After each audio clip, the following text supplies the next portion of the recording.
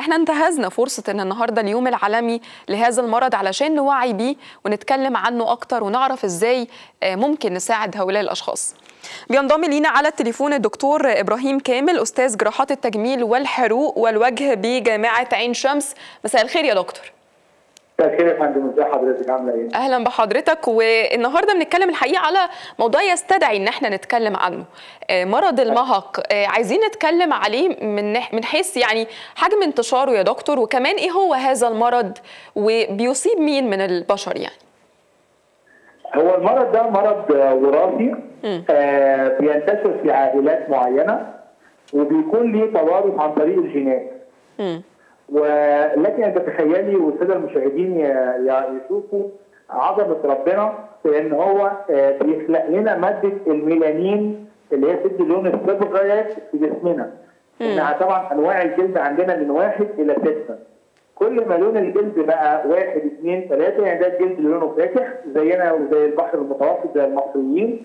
لما بيبدأ الجلد يغمق شوية بنخش زي اللون الجلد الأفريقي اللون الاسمر ثم الأسود. فتدرج الألوان بتدرج الميلانين طبعا دي فايدة عظيمة جدا عشان كده ربنا خلقها إنها تحمي الجلد من السرطانات اللي يتكون فيه سرطان وتحمي الجلد كمان من مشاكل كثيره جدا. وعشان كده المرضى اللي ما عندهم المشكلة دي اللي هو عدم وجود صبغ الميلانين نتيجة إن هم بيبقى عندهم الجينات الوراثية مش موجودة بيحصل عندهم مشكلة إن يبقى جلدهم كله ما فيهوش صبغ يبقى لونه أبيض تماما. بالكامل المادة دي فيها نقص كامل في جسم يعني الأشخاص المصابين بالمرض ده. فقدان تام. يحصل فقدان تام في الصبغيات ديت. وبالتالي بيبقى المرضى دول عندهم مشكلة. طبعا التنمر زي ما قلتي حضرتك وعندهم مشكلة إن للأسف. لهم غريب عن باقي المجتمع اللي هم فيه. م.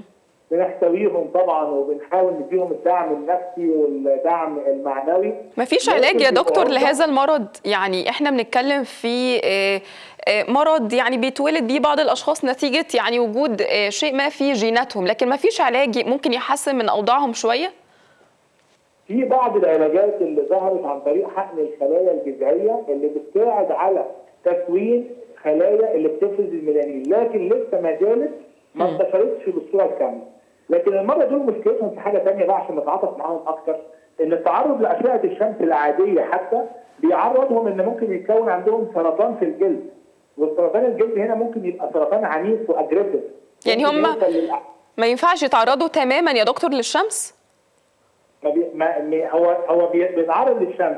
لما بيتعرض للشمس حتى الشمس البسيطة ممكن يجي له سرطان للجلد وسرطان الجلد هنا بيبقى ممكن يبقى عنيف جدا يوصل للكبد ويوصل للأمعاء وللمعدة. فبتبقى المشكلة كبيرة جدا. عشان كده المرضى دول دايما بيسموهم عدو الشمس إن هو ما يقدرش يتعرض كتير للشمس نتيجة إن العين بتاعته ما يقدرش يبص في الشمس عشان النمي بتاع عينه ما يكونش فيه الصبغيات رقم اثنين إن جلده ممكن يحصل له سرطانات الرئة وسرطانات الجلد وبالتالي بتنتشر في أماكن كثيره في الجسم.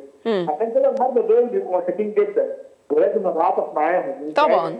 إن هم بيكونوا من اللي عندهم مشاكل صحية مستديمه إيه تاني بيعاني منه يا دكتور؟ مرضى المهق غير فكرة إن هم معرضين بشكل كبير للإصابة بسرطان الجلد. يعني معرضين لإيه تاني؟ من الأمراض. أو كمان نتكلم على اللي بيعانوا منه بالفعل بمجرد ولادتهم. يعني إحنا عرفنا إن بيكون في مشكلة في الإبصار. تمام. بيبقى عنده مشكلة إن هو يبص في النور القوي أو النور العادي اللي إحنا ممكن نبص فيه. نتيجة إن الصبغيات مش موجودة فأشعة الشمس أو أشعة النور بتخش بكمية كبيرة بتضايق عينه بتضايق الشبكية بتاعته. النقطة الثانية كمان إن زي ما قلنا إن هو بيتعرض لممكن أمراض زي السرطانات، ثاني حاجة بيجي له التهابات كتير للجلد، بيبقى عنده أمراض مناعية منتشره في الجلد، ساعات بيبقى عنده مرض مصاحب ليه زي أمراض المتلازمه اللي بيحصل ذئبه حمراء عنده. كل دي أمراض ممكن تحدث عنده. دايما إحنا بنقول إن عظمة ربنا اللي خلقنا إنه ما بيخلق الحاجة بيبقى ليها نتيجة وفايدة مهمة جدا. فتيجي إزاي إن إحنا الجلد بتاعنا لما بيكون في صبغه الميلانين إزاي ديت بتساعد على إن تحمينا من حاجات كثيره جدا. ودي حتى بنشوفها كمان في امراض ثانية غير المرض اللي بنتكلم عنه اللي هو الالبينوس إحنا بنسميه الالبينوس دول يعني عارفة كده مريض الحروق ساعات لما بيحصل له حرق ممكن أوه. الجلد بتاعه يفقد الصبغيات أيوه أبيض تماما مم. وهنا برضه ممكن يحصل نفس القصة برضه نفس الحكاية نتيجة ضغط السريات نتيجة الحروق. طيب مع الأسف وإحنا النهاردة بنحسن يعني أو بنغير من ثقافة هذا المرض والتعامل مع يعني هؤلاء الأشخاص المصابين بيه في ناس بتعتقد أن هو مرض معدي فبتخاف منه وتبدأ تخوف كمان أطفالها أن هو ابعد عن الشخص ده ده شخص مختلف بلاش نقرب منه والكلام ده كله. عايزين نوضح النقطة دي. هل هو مرض معدي؟ بالعكس خالص هو مرض معدي تماما.